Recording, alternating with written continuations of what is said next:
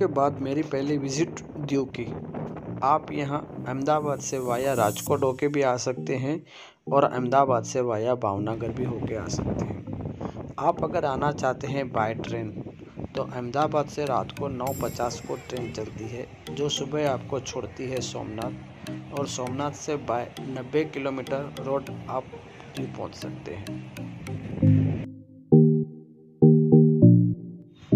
आपको अगर समंदर पसंद है और समंदर में नहाना भी पसंद है तो एक बार आप यहाँ ज़रूर आएँ।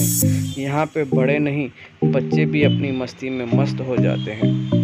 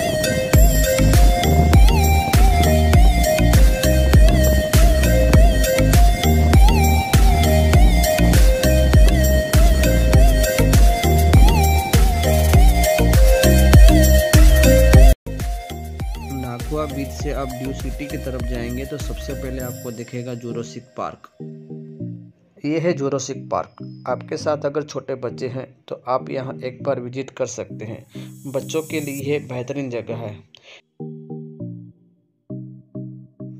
ये जो व्यू पॉइंट बना हुआ है, वहाँ पे आप ऊपर जा सकते हो। नागुआ बीच से पाँच किलोमीटर की दूरी पे है ये गंगेश्वर महादेव का मंदिर। सागर की लहरों से हर वक्त अभिषेक करता हुआ ये गंगेश्वर महादेव।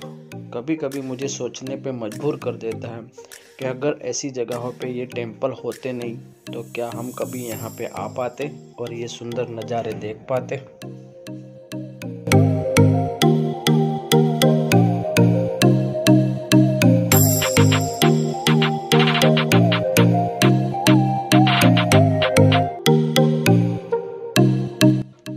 गंगेश्वर महादेव से थोड़ी ही दूरी पे है जलंधर बीच, और हम जा रहे हैं अभी जलंधर बीच की तरफ़। ये है सर्किट हाउस जो कि रास्ते में पड़ता है।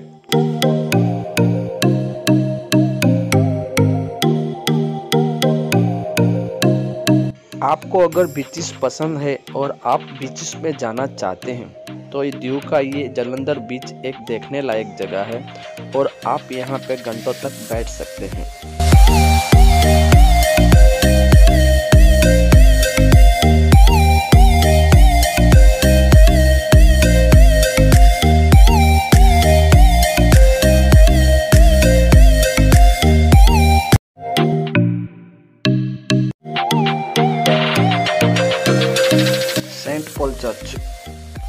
दीव से एक किलोमीटर की दूरी पे है ये चर्च। ये चर्च पोर्टुगीज के शासन में लगभग 410 साल पहले बनवाया था। दीव सिटी में ये चर्च एक देखने लायक जगह है।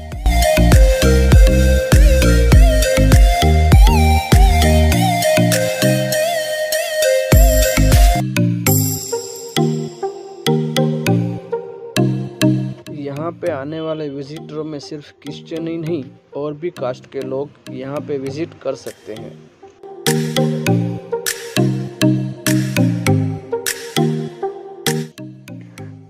म्यूज़ियम सेंट पॉल चर्च के बिल्कुल पास में ही है, जिसे आप सुबह नौ बजे से लेकर शाम के सात बजे तक विज़िट कर सकते हैं।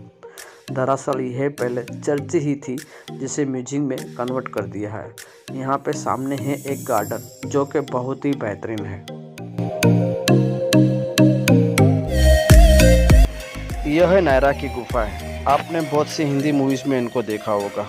यहाँ पे लोग दूर दूर से अपना फ़ोटो शूट करने के लिए आते हैं।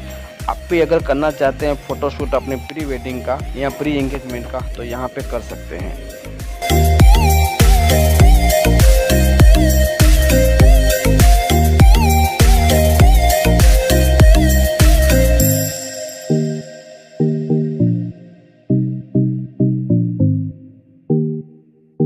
इतने सारे पत्थरों को देखकर मुझे ये यकीन ही नहीं होता कि ये एक पूरा एक ही पत्थर था।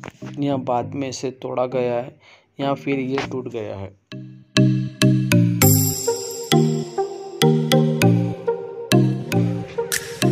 हम जा रहे हैं अभी जू के फोर्ट में।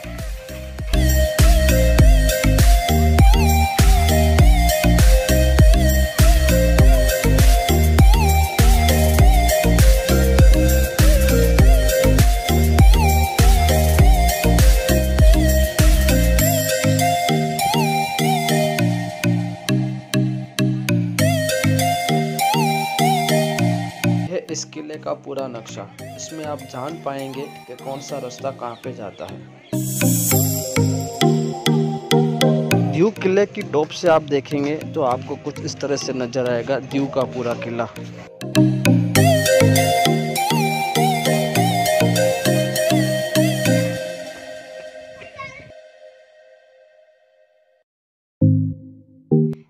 सामने आपको दिख रहा है, वो है पानी कोठा, जो कि पहले एक जेल थी, जिसे काले पानी की सज़ा मिलती थी, उसे यहाँ पे लाया जाता था। इस किले में बहुत सी ही हिंदी मूवी बनी हुई है, जिसमें से एक थी अजय देवगन और सुनील शेट्टी की कयामत। लगभग 50 परसेंट से भी ज़्यादा इस फ़िल्म का शूट इस किले में किया हुआ है। मेरे नज़रिए से ये जगह इस किले की सबसे खूबसूरत जगहों में से एक है। क्योंकि यहाँ पे आपको देखेगा चारों ओर समंदर है समंदर। और समंदर से आती हुई ये ठंडी हवा की लहरें और लहरों से उत्पन्न होता हुआ मधुर ध्वनि मन में एक अजीब सी कशिश पैदा करता है। मुझे तो लगता है कि पूरा दिन मैं यहीं पे बिस्तर तान के बैठा रहा हूँ। लाइट हाउस यहाँ पे पहले ऊपर जाने की परमिशन थी, लेकिन अभी सिक्योरिटी की रीजन से इसे बंद कर दिया है।